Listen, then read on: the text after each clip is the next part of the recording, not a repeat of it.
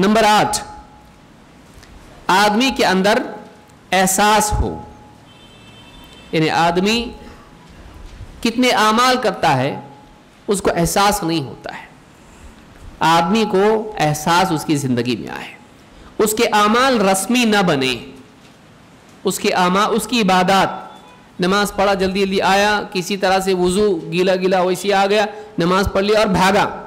نماز مشین کی نماز ہے اس کی۔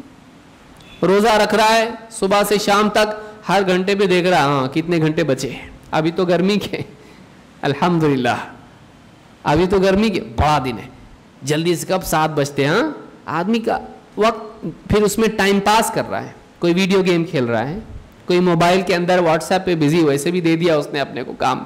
جس کو کچھ کام نہیں، ایک آدمی، ایک صاحب کہنے لگے کہ ایک آدمی نے دوسرے سے پوچھا، آپ کے پاس فیس بک ہے؟ بولے، نہیں۔ واٹس ایپ ہے؟ نہیں۔ آپ کے پاس فلاں چیز ہے؟ وہ بھی نہیں۔ اس کی اندر انٹرنیٹ ہے؟ نہیں۔ بولے، آپ کے پاس کیا ہے؟ اس نے میرے پاس کام ہے۔ اس نے کیا کہا؟ میرے پاس کام ہے۔ جس کے پاس کام نہیں، اس کے لیے ساری چیزیں ہیں۔ تو آج ہمارے پاس کام نہیں ہے۔ اس کو ہم نے کام بنا لیا۔ ہماری عبادات رسمی ہو چکی ہے لیکن ہم بڑے خوشو اور خضو سے واٹس ایپ استعمال کر رہے ہیں۔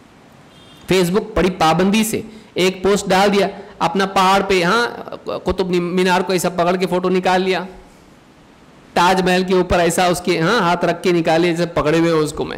یا فلاں پہاڑ کو ہاتھ میں لے کے، یا کعبہ میں ایک دم ایسا اللہ فوٹو نکال لیا۔ اب ایک مہینے تک دیکھ رہا، اس میں کتنے لائک ہو رہے ہیں۔ ہے کہ نہیں؟ یہی زندگی ہوگی نا ہماری۔ ہم لوگ یہی کام کر رہے ہیں۔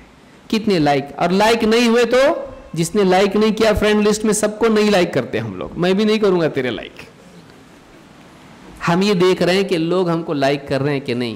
کیا ہمارے دلوں میں، ہماری زندگی میں یہ فکر ہے؟ اللہ بھی مجھ کو لائک کرتا ہے کہ نہیں کرتا ہے؟ میرے اعمال، میرے اقوال، میری زندگی، میرا دل، میرا عمل، میری سوچ، اللہ اس کو لائک کرتا ہے، اللہ پسند کرتا ہے کہ نہیں؟ اللہ مجھ کو پسند کرتا ہے کہ نہیں کرتا ہے؟ اللہ قیامت کے دن مجھ کو پسند کرے گا، جنت کے لیے نہیں۔ اس کا ڈر ہماری زندگی میں ہے۔ ہمارے اعمال رسمی بن چکے ہیں، ہمارا احساس ختم ہو گیا ہے۔ قیامت پہ ہم بول بھی رہے ہیں، ہم کو احساس نہیں ہے۔ جہنم پہ ہم بول رہے ہیں، ہم کو احساس نہیں ہے۔ ہم اپنے گناہوں کا اقرار بھی کر رہے ہیں تو گناہ کے ساتھ جیسے کسی کی غیبت کرے اللہ معاف کرے، فلاں ایسا کرتا ہے۔ ہم کیا کہہ رہے ہیں؟ فلانا ایسا ایسا کرتا ہے، اس کی غیبت کر رہے ہیں اور ایڈوانس میں ہم کیا کریں؟ اللہ معاف کرے لیکن یہ اللہ معاف کرے میں وہ دم نہیں ہے۔ اللہ معاف کرے کا جملہ رسمی ہے۔ یہ تقیہ کلام بن چکا ہے۔ احساس ہمارے اعمال سے نکلتا جا رہا ہے۔ ہماری عبادات سے احساسات، جذبات نکلتے چلے جا رہے ہیں۔ وہ بس ایک مشینی عمل ہوتا چلا جا رہا ہے۔ نہیں۔ ہر عمل میں احساس ہو آدمی کے۔ اس کو نماز پڑھے لذت ملے۔ اللہ کے نبی صلی اللہ علیہ وسلم کیا فرماتے ہیں؟ جو علت قرت آئینی فی صلاح میری آنکھوں کی ٹھنڈک نماز میں رکھ دی گئی ہے۔ آپ غور کریں، عبادات۔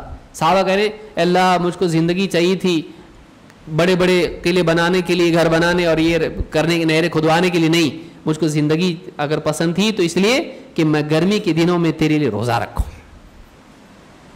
راتوں میں تیرے لیے قیام کروں۔ کتنے اقوال سلف کی ملیں گے آپ کو؟ کہ اس کو مجاہدے میں اللہ کے لیے عمل کرنے میں لذت ملے۔ یہ زندگی اس کی بنے۔ یہ زندگی اس کی بننا چاہیے۔ تو ہماری نیکیاں جب ہم کریں، اندر سے خوشی ہو۔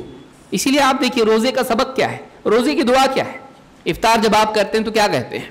وہ وبتلت العروق وثبت الاجر ان شاء اللہ ذهب الظمأ، پیاس چلی گئی۔ وبتلت العروق اور رگیں تر ہو گئی، سوکھا ہوا گلا تھا، پانی پی لیا، ایک دم اب تراوٹ آ گئی مزاج میں۔ وثبت الاجر ان شاء اللہ۔ اور اجر پکا ہو گیا اگر اللہ نے قبول کر لیا، اگر اللہ نے چاہا تو۔ تو اعمال کے ساتھ ان اعمال کی کیفیات بھی آدمی میں ہونا چاہیے۔ اسی لیے آپ دیکھیں اللہ نے کیا فرمایا؟ قد افلح المؤمنون الذين هم في صلاتهم خاشعون۔ کامیاب ہو گئے ایمان والے۔ جو اپنی نمازوں میں خوشو اختیار کرتے ہیں۔ نماز خوشو والی ہونا چاہیے۔ روزے میں صبر کا مزاج ہونا چاہیے۔ روزہ تقوا پیدا کرنا چاہیے۔ حج مبرور ہونا چاہیے۔ صدقات اور خیرات کرتے وقت میں زکوٰۃ دیتے وقت میں آدمی کے دل میں وقلوب وجلہ۔ ان کے دلوں میں ڈر ہونا چاہیے۔ قبول کرے گا کہ نہیں اللہ تعالیٰ؟ یہ یہ کیفیات ہمارے اندر ہے کیا؟ ہم ذکر کر رہے ہیں کتنے لوگ بیٹھے ہوئے سبحان اللہ سبحان اللہ سبحان اللہ سبحان اللہ سبحان اللہ۔ ہاں کیا بول رہے سبحان اللہ سبحان اللہ الحمد للہ ہمارے اعمال ایسے ہو گئے ہیں۔ ہمارے اعمال سے کیفیات اور احساسات نکل جاتے ہیں۔ ہم کو نیکی کر کے وہ خوشی نہیں ہوتی ہے، ہم کو گناہ کر کے غم نہیں ہوتا ہے۔ ناک پہ کی مکھی اڑا دی، ایسا منافق کا حال ہوتا ہے۔ جس انسان کو گناہ کے بارے میں احساس نہ ہو، اس کا ایمان عیبدار ہے۔ اللہ کے نبی صلی اللہ علیہ وسلم کیا فرماتے ہیں؟ مومن کی علامت کیا ہے؟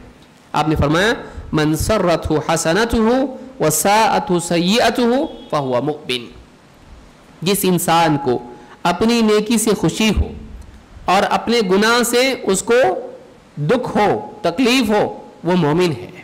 کیا ہمارے حال ہے ہم نے نماز پڑھی عصر کی، ہم نے نماز پڑھی فجر کی، ہم نے ذکر کیا، ہم نے تلاوت کی۔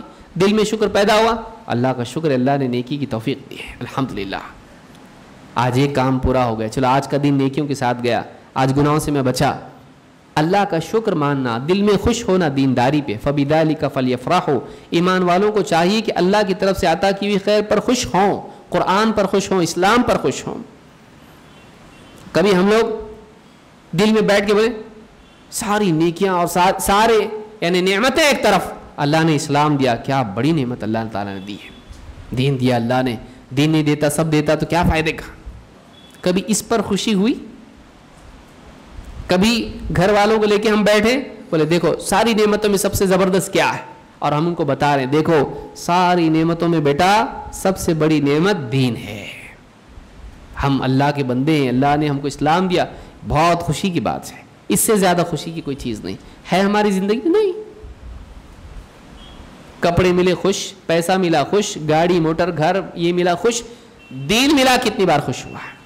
منسرت ہو حسنت ہو جس کو نیکی سے خوشی ہو اور گناہ سے دکھ ہو، غلطی ہو گئی۔ آدمی کے اگر مان لیجیے آپ نے جیب میں پیسے ڈالے اور گر گئے، ہزار ہزار کے ہزار نوٹ تھے۔ ہارٹ اٹیک ہو جائے گا اس کو۔ جیب میں پیسے تھے، کھو گئے، گر گئے کہیں۔ یا کوئی چیز لائی نہیں اور ٹوٹ گئی، موبائل آپ نے لایا اور کسی کو دیتے دیتے ہاتھ میں سے موبائل چھوٹ کے نیچے گرا اور آپ کا پہلے یقین نہیں آیا آپ کو کہ ٹوٹا ہے واقعی۔ آپ کا دل اٹھانے تک بولا، اللہ کرے، نہیں ٹوٹے نہیں ٹوٹے، ٹوٹا، پورا کراک ہو گیا ہے۔ کتنی تکلیف اندر ہوتی ہے۔ نیا بھی لایا تھا، پوچھ پوچھ کے ہر مرتبہ دے رہا تھا سب کو۔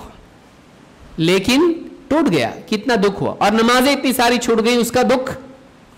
روزے چھوٹ گئے، تلاوت چھوٹ گئی، ذکر چھوٹ گیا، اتنے سارے احکام چھوٹ گئے۔ اس کا دکھ ہے، نہیں۔ ہم کو مال کا دکھ ہو۔ اور اعمال کا دکھ نہ ہو، ہمارے ایمان میں کھوٹ ہے۔ ابھی ہمارا تذکیہ نہیں ہوا۔ اسی لیے حدیث کیا بتا رہی؟ جس کو نیکی سے خوشی ہو اور گناہ سے دکھ ہو، تکلیف ہو، وہ مومن ہے۔ یعنی مومن احساس والا ہوتا ہے۔ ایک دم پتھر کی طرح نہیں ہوتا ہے، مشین کی طرح نہیں ہوتا ہے۔ اس کے اندر احساسات ہوتے ہیں۔ نیکی سے خوش ہوتا ہے، اس سے غلطی ہوتی ہے۔ لیکن غلطی پہ بہت دکھ ہوتا ہے۔ جب تک کہ اللہ سے معافی مانگ نہیں لیتا ہے گناہ معاف نہیں کرا لیتا ہے، بھرپائی نہیں کرتا، اس کو چین نہیں آتا ہے۔ یہ زندگی ہونی چاہیے ہماری۔